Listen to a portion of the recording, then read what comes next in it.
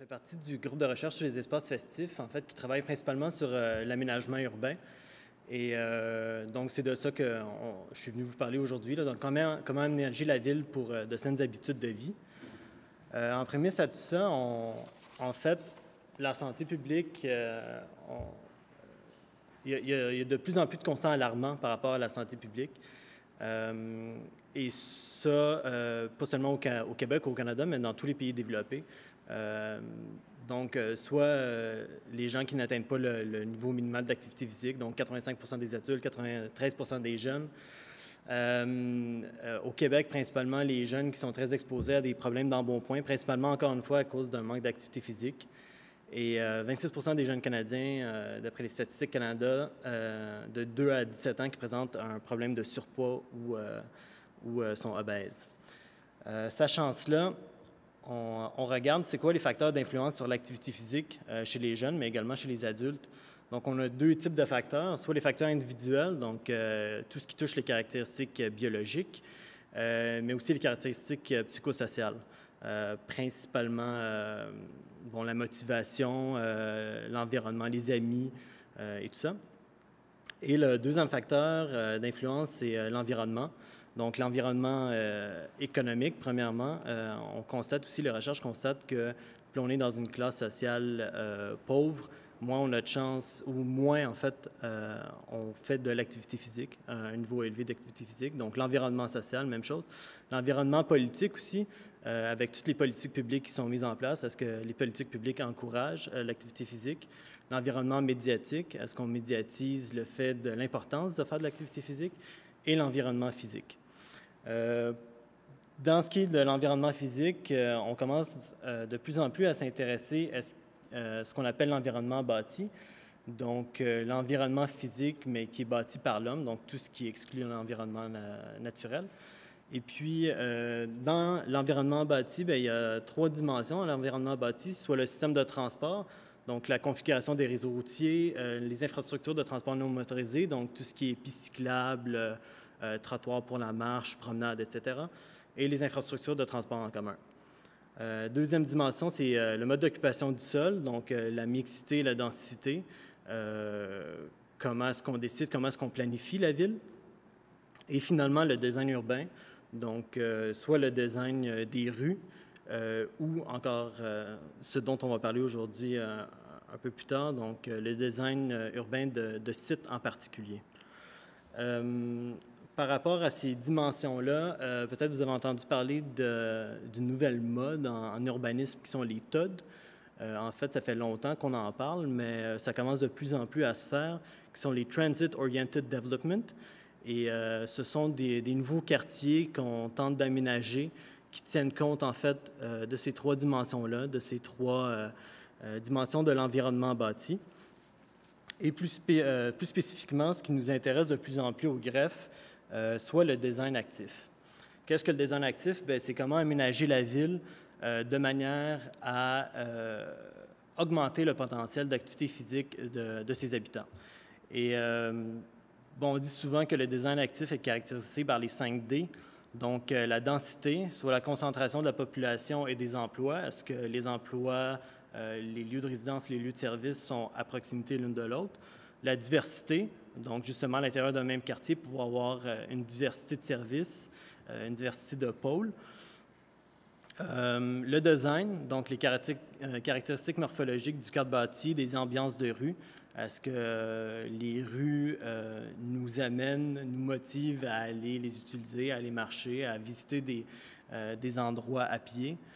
la destination, donc faciliter les déplacements vers les pôles d'emploi ou les points d'attrait importants, donc principalement avec les transports en commun ou le vélo ou la marche, pourquoi pas.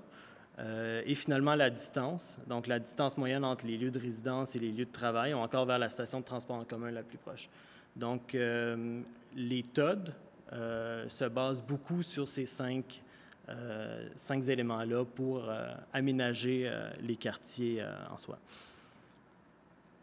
de plus en plus de, grandes métropoles, en fait, s'intéressent à l'environnement bâti et à cette nouvelle façon de planifier la ville. la première grande ville à, s'y être intéressé, c'est New York, avec son Active Design Guidelines. en fait, c'est un guide, c'est un outil qui a été fait par la ville de New York, qui est un outil d'aide à la planification urbaine. donc, pour les planificateurs, pour les gens qui, qui décident de, de, faire des projets immobiliers, mais aussi pour les architectes. Donc, euh, le guide, en fait, donne des, euh, des outils, des idées d'aménagement urbain qui peuvent, euh, qui peuvent accroître l'activité physique des, habitants, soit encore une fois par le design de rue, comme on peut voir en haut à gauche, en, en, réduisant l'empreinte de l'automobile, donc en, réduisant le, les voies automobiles, les places de stationnement, mais surtout en donnant beaucoup plus de place euh, au vélo, euh, à la marche, euh, et en mettant en place des, des stratégies urbaines pour améliorer également la sécurité. On va voir tout à l'heure que c'est un élément très important pour, pour la population.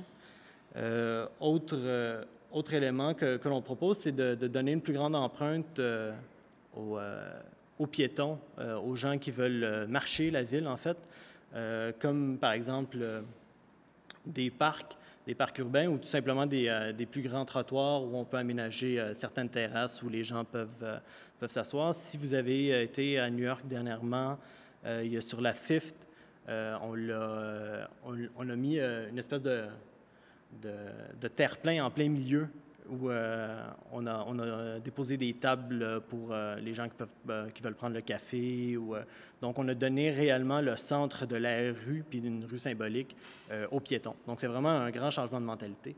Et finalement, un, beau projet à New York, si jamais vous y allez, c'est le High Line. le High Line qui, en fait, était une, une ancienne voie ferrée qui n'était plus utilisée, on ne savait plus quoi faire, c'était une voie aérienne. Et euh, ce sont deux, euh, deux, personnes du quartier où la, où la voie ferrée est installée qui ont décidé, euh, en fait c'était à Manhattan, qui ont décidé de, de, partir un projet de grand parc urbain. Donc on a transformé cette, cette track en un, grand parc de 1,5 000 de long où les gens peuvent bon, aller marcher, se reposer ou jogger. Mais par contre, euh, ben, en fait, au-delà de, du design urbain, on, donne également des outils pour, le, pour les architectes. Donc, euh, euh, faire, de l'activité physique peut également être fait à l'intérieur des bâtiments, que ce soit, on propose en fait aux employeurs de, fournir des salles de sport, mais c'est quand même quelque chose qui est assez dispendieux. Mais on travaille beaucoup aussi avec des éléments de l'architecture, comme les escaliers. Donc, donner beaucoup plus de place aux escaliers, les faire plus larges, l'ambiance également pour les escaliers, mettre des euh, écriteaux pour euh, encourager leur utilisation. au moment, par exemple, on a installé des, des, des, des, voyons, des sculptures qui étaient suspendues juste en haut des escaliers. Donc, pour en fait voir complètement toute l'exposition, il fallait utiliser ces escaliers-là pour pouvoir, pour pouvoir tout visionner. Euh, et en fait, New York a été euh, un, précurseur, une ville, euh, c'est ça, précurseur de, ce type d'aménagement-là. Toronto a suivi en 2010 avec la Charte de Toronto pour l'activité physique. On voit que l'environnement prend une, une, grande place à l'intérieur de cette charte-là.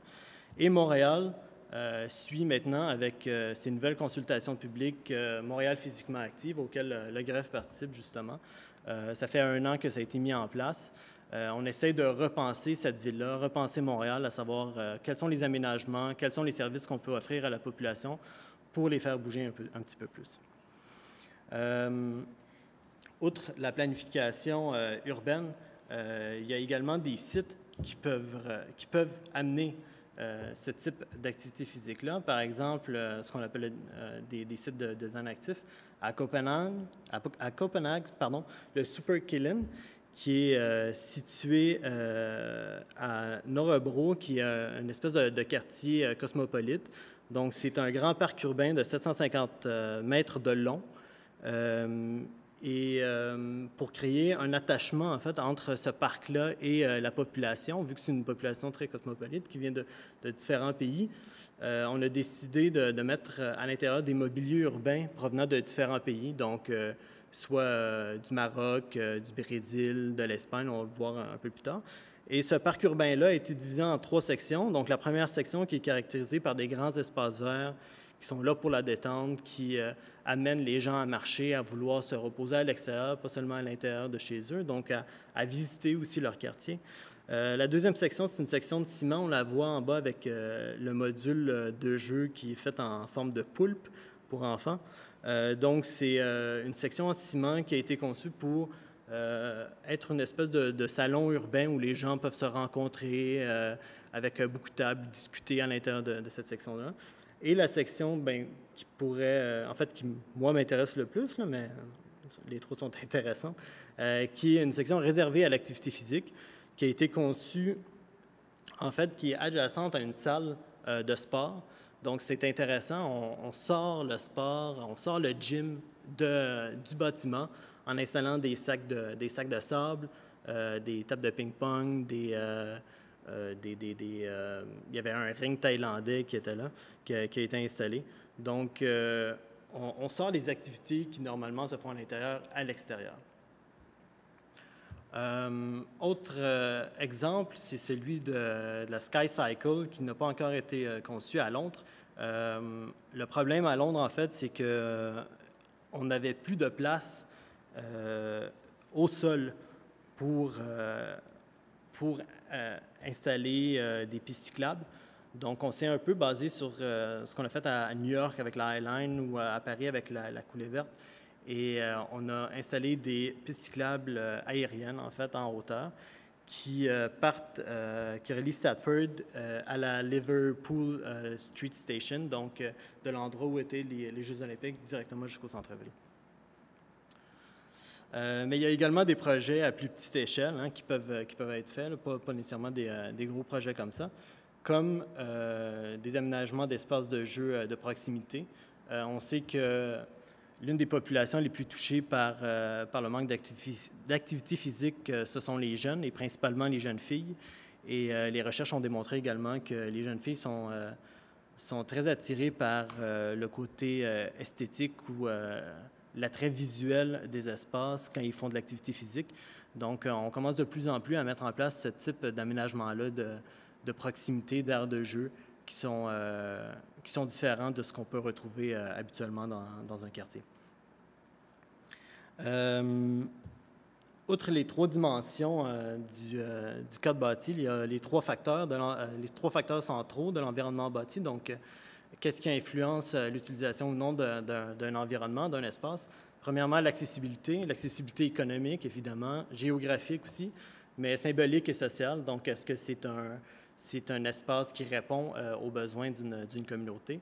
Euh, l'attrait, on en a parlé, l'esthétisme, la végétation, les ambiances, la qualité urbaine et architecturale. Et finalement, la sécurité, donc le trafic routier, l'animation, l'environnement, la surveillance. Euh, la sécurité va être très importante, par exemple, pour euh, des populations plus âgées, euh, chez qui ce facteur-là vient en premier bien souvent. par contre, il ne suffit pas de créer un espace. il y a un chercheur, Vieille Marchizet, qui disait un espace n'existe que s'il est utilisé par les acteurs sociaux. Donc, pour, pour qu'un espace soit réellement utilisé, il ben, faut, qu'il y ait une appropriation citoyenne de ces espaces-là. Donc, on doit comprendre les formes d'appropriation des espaces puis des équipements par les usagers, euh, les formes variables de renforcement euh, identitaire, euh, d'appartenance, de mobilisation des acteurs sociaux, mais aussi comment créer un attachement affectif entre les citoyens et ces lieux-là. par rapport à cette appropriation-là aussi, il faut savoir que les, les facteurs d'influence, donc la sécurité, l'attrait et l'accessibilité, on peut les voir sous deux angles. Donc, un angle objectif qui est bien souvent vu par les politiques publiques. Donc, euh, euh, oui, faire un, aménagement comme ça est sécuritaire, mais il y a aussi l'angle subjectif. Donc, est-ce que ton citoyen trouve que c'est sécuritaire? Puis cet angle-là est souvent plus important quand vient le temps d'observer si euh, les gens utilisent ou non un espace.